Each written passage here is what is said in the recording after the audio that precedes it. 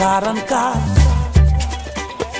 44 44 moom sa bopp moo neex Nigerian farmers are getting cleaner seed yam that promises better harvests in the seasons ahead, thanks to the healthy seed yam production technique developed by IITA.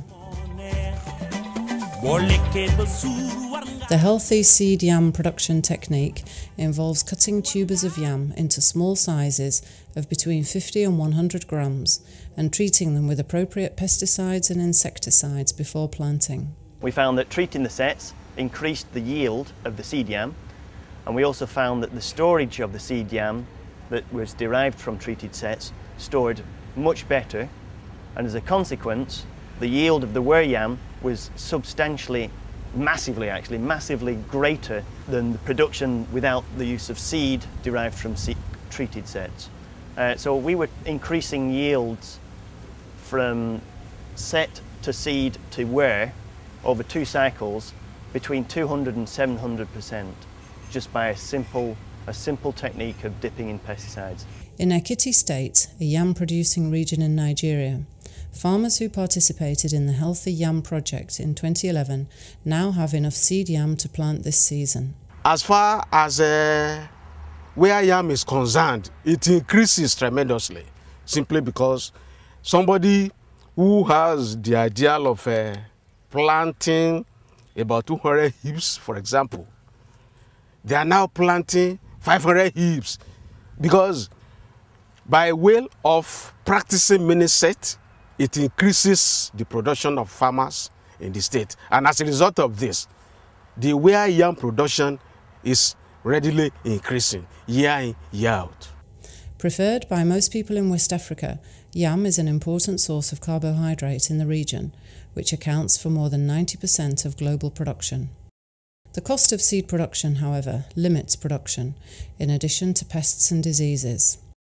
For many farmers, planting for the next cropping season usually demands setting aside up to one third of their harvest. The seed which the local farmer uses are big, big, big uh, yams, or rather, yam out of their former harvest that were small.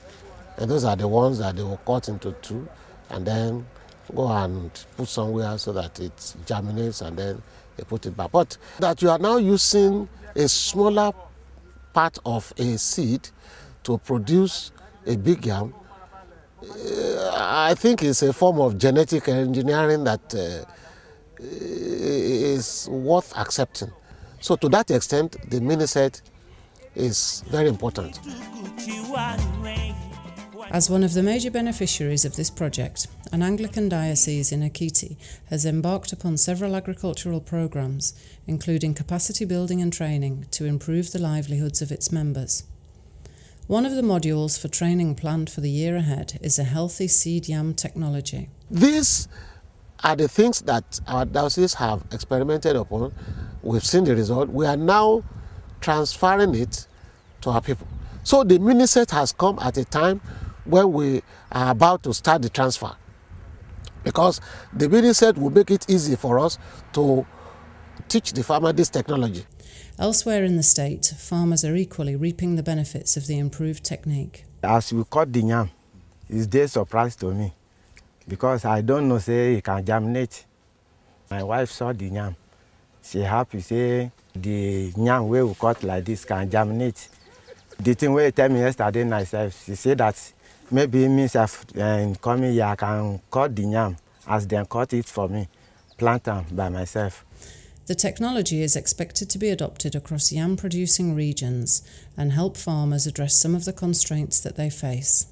The new technology will also help improve the livelihoods of farmers. as we plant this small thing this is what we realize in diocese level we are going to introduce it in agicris level we are going to introduce this in parishes churches we are going to introduce this in cooperative society we are going to introduce it individually we are going to introduce it we really appreciate it and we appreciate IITA for teaching us for giving us this training because we know the impact in our production. It produces well. It's excellent. We're able to massively improve yield, quality uh, and productivity of, um, of, of, of yam within West Africa. And so with the new project that's just been launched, um, I, I hope to see uh, much better uh, yam production across West Africa uh, for the benefit of everybody.